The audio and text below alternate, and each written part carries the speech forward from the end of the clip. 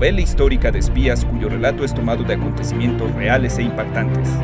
Una narración apasionante y llena de intriga. El espía del rey, un James Bond del siglo XVIII, un personaje fuera de serie, un hombre de honor, leal, que conoce muy bien su misión desde la primera página.